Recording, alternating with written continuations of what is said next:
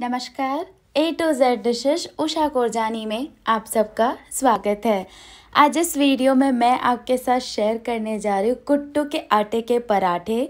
इसे आप कोई भी सब्ज़ी के साथ ले सकते हैं। मैंने इसे सर्व किया आलू की सब्ज़ी के साथ। ये इतने सॉफ्ट और टेस्टी बनते हैं। खास बात ये है कि आप इसे व्रत में ले सकते हैं। बहुत ही टेस्टी लगते हैं और आप इसे ऐसे भी बनाकर खा सकते हैं।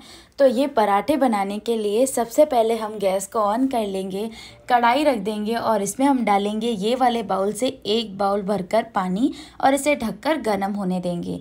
जैसे ही ये गर्म हो जाएगा तो इसके अंदर हम डालेंगे नमक, एक चौथाई चम्मच या फिर स्वाद के अनुसार, और थोड़ा सा घी। अच्छे से मिलाकर जिस बाउल से हमने पानी लिया था, उसी बाउल से आपको कुट्टू का आटा डाल देना है। अच्छे से मिक्स करना है। मिक्स करने के बाद गैस को बंद कर लेना है और इसे ढककर पाँच मिनट तक रख देना है।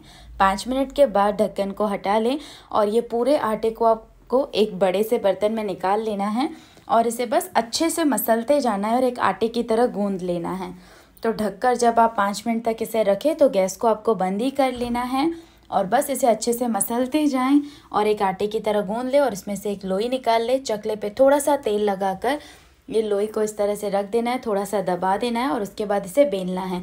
तो मैं यहाँ पर छोटे छोटे पराठे बना रही हूँ। आप चाहे तो बड़े भी बना सकते हैं, पर छोटे पराठे बनाने से क्या होगा कि तवे पर एक ही साथ तीन सेक जाएँगे। तो आप देख सकते हैं, इस तरह से मैंने पराठा बेल लिया है और बेलते वक्त ये बिल्कुल भी टूटता नहीं है। बहुत ही आसानी से आप देख सकते हैं, अच्छे से हो रहा है ये। तो इस तरह से पराठा बेलना है, थोड़ा सा मोटा ही रखना है। तवा मैंने अच्छा गर्म करने रख दिया था। अब यहाँ पर इस तरह से पराठे डाल देंगे और इसे दोनों तरफ़ से अच्छे से सेकेंगे। आपको लगे कि ये थोड़ा थोड़ा सेकना शुरू हो गया है तो इस पर तेल लगाएँ दोनों तरफ़ से और अच्छे से और इसे सेकें। तो यहाँ पर आप इसके ऊपर तेल या फिर घी या फिर मक्खन जो आप पराठों पर पसंद करते हैं, वो आप लगा सकते हैं। आप देख सकते हैं दोनों तरफ़ से मैंने अच्छे से इसे सेक लिया है।